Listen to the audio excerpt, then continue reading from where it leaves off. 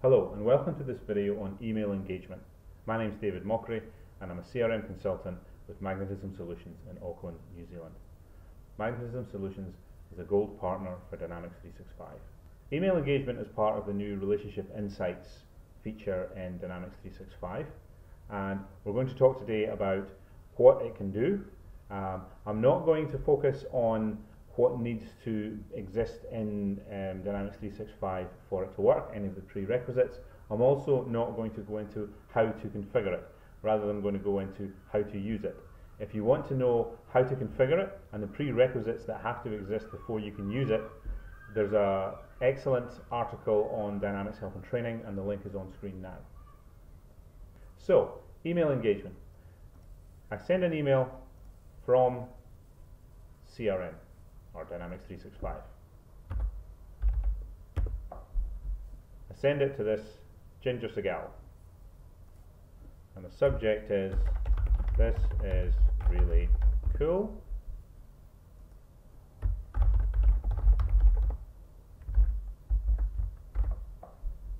And I say check this out and I've got a link in the email. Now what you'll see with um, email engagement is this new section down here on an email saying, giving you the option to follow or not follow this email, and we'll come shortly to what that actually means. It gives you the option to send it later if you want to. Now you might use this option if you discovered that um, the person who you were sending it to um, likes to open up their emails or new emails at a certain time of day, then you could decide you wanted to send that at that time of day so it puts it front and center for them when they're opening up their new emails. You can also set a reminder to follow up on emails within um, Dynamics 365. So let me just save this. And now I can put an attachment on it. So I'm going to um, choose a file.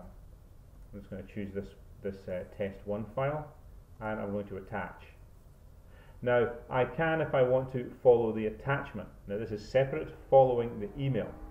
If I follow the attachment, it says to me here, choosing to follow attachment will upload the attachment to OneDrive for Business as a link. So if I follow it,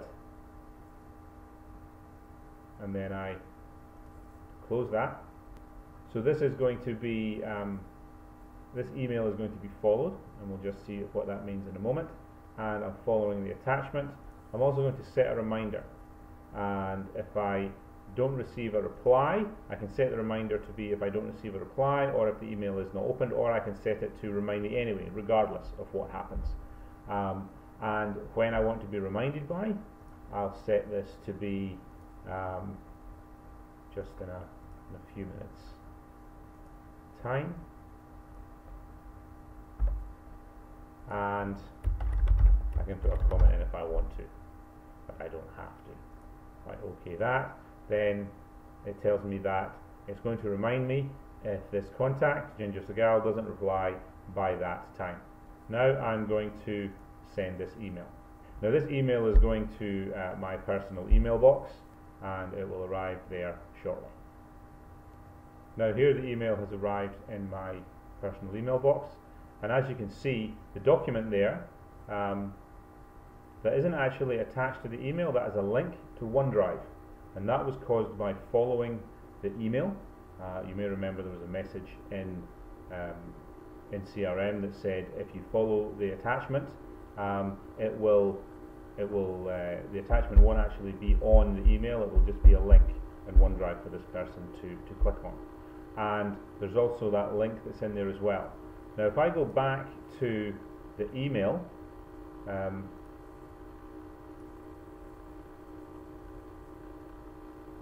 Now, it does take a few minutes, but in a few minutes' time, um, I should see that the email has in fact been opened.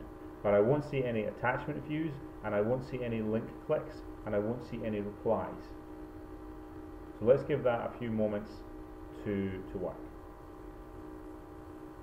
Now I can see, I've refreshed the screen and I can see that there is one open and it tells me that it was opened on a Windows 8.1 device so you can even see what device they're opening on. Are they opening on their phone? Um, are they opening on um, on uh, desktop, etc. Now, if I go back to my um, my personal email and I open up the link. It will open up the Word document in Word Online and there it is. It's just an empty document with a link on it. Um, if I click on the link itself in the email, now if I go back to um, back into CRM, shortly I will see the attachment and the link click appearing here. It hasn't appeared yet, it does take a few moments to um, sync with Exchange.